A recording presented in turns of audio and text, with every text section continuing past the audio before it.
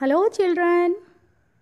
This is Richa Chaurasia, your maths teacher. How are you? I hope you all are safe and staying at home.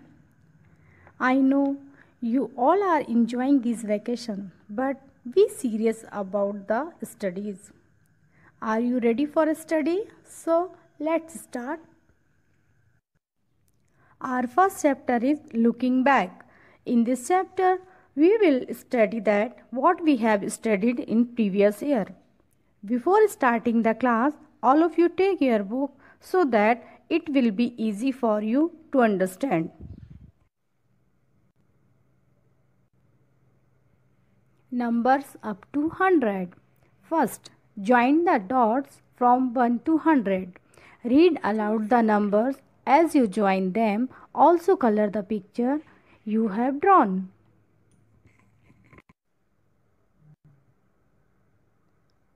Part 1 is ordinal numbers.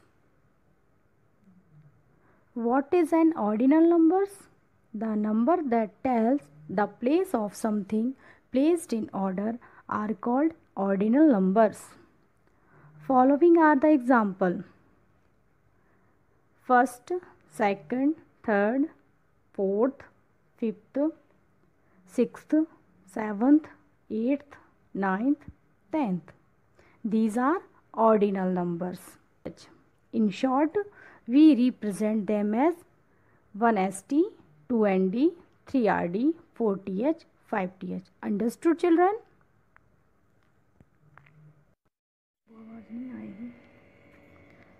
Part 2 The number line. The numbers can be represented on a line called a number line. The number line always start from 0. The numbers from 0 to 10 are shown on the number line. Addition on the number line. We can also carry out addition using the number line. Let us add 3 plus 4 on the number line. We start at 3 and jump 4 number to the right. What number do we get? Yes, you are right. We get the number 7. Which is the answer? Therefore, the sum of 3 and 4 is 7. Subtraction on the number line. We can also carry out subtraction using the number line. Let us subtract 4 minus 2 on the number line. We start at 4 that is the bigger number and jump 2 numbers to the left. The number that we get is 2 which is the answer. Therefore, the difference of 4 and 2 is 2.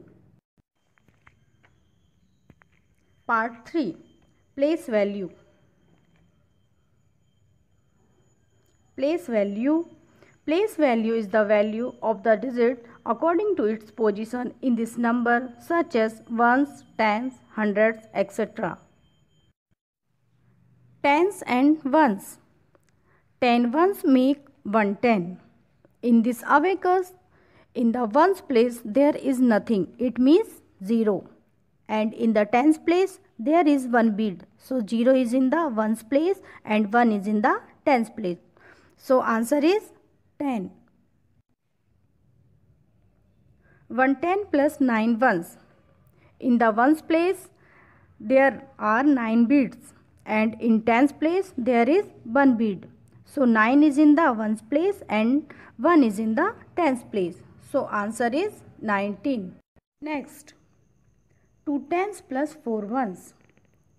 In the ones place, there are 4 beads and in the tens place, there are 2 beads. So 4 is in the ones place and 2 is in the tens place. So answer is 24. Part 4 Expanded and Short Form First we will study what is expanded form. Writing a number as the sum of hundreds, tens and ones is known as the expanded form. Write the number in expanded form. Let us write 89 in expanded form. We have 89 is equal to 8 tens and 9 ones. 80 plus 9 now 80 plus 9 is expanded form of 89 which is called the short form or standard form. Short form. When we add the expanded number, we get the short form. Write the numeral for the following. Here is expanded form. How to write in the short form? How many tens are there? 2 tens. How many ones are there? 8 ones. This is the way to write short form. So, short form of 20 plus 8 is 28. Part 5 Comparing numbers. Comparing numbers. Comparing two numbers means finding out whether one number is greater than or less than or equal to the other number. These are symbols for greater than, less than and equal to respectively. 65 is greater than 18, 12 is less than 43 and 51 is equal to 51. Part 6 Addition and Subtraction Solve the following. 52 plus 23. First add the ones place then add the tens place. What is in the ones place? 2 and 3. So add 2 plus 3 equals 5. Then add tens place. 5 plus 2 equal 7. So in the ones place answer is 5 and in the tens place answer is 7. So right answer 75. 62 plus 14. First add the ones place. In the ones place there are 2 and 4. So add 2 plus 4 is equal 6. In the tens place there are 6 and 1. So 6 plus 1 is equal 7. So answer is 76. Next subtract 24 from 84. So 84 minus 24. Subtract ones place first. 4 minus 4 is equal 0.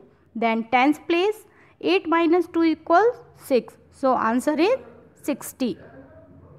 Next, subtract 24 from 78. So 78 minus 24.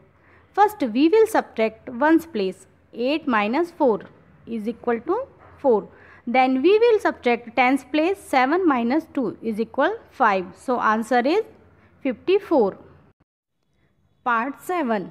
Geometric shapes. Geometric shapes are categorized in two types. First plane shapes and second solid shapes. Then again there are many plane shapes. Square, rectangle, triangle, oval and circle. Now solid shapes cube, cuboid, cone, cylinder, sphere. These are the plane shapes with their names square, rectangle, triangle, oval and circle. These are the solid shapes with their name cube, cuboid, cone, cylinder, sphere.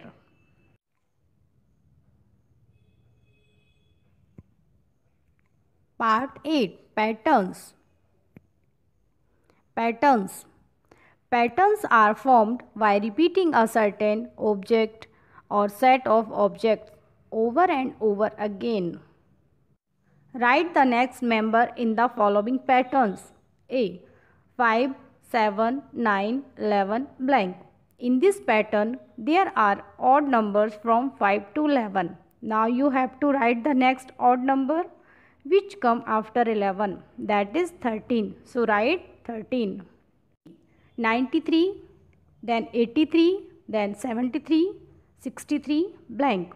In this pattern, there are back countings from 93 and there is difference of 10 numbers in between like 93, then 83, then 73, then 63. Now 63 minus 10 equals 53.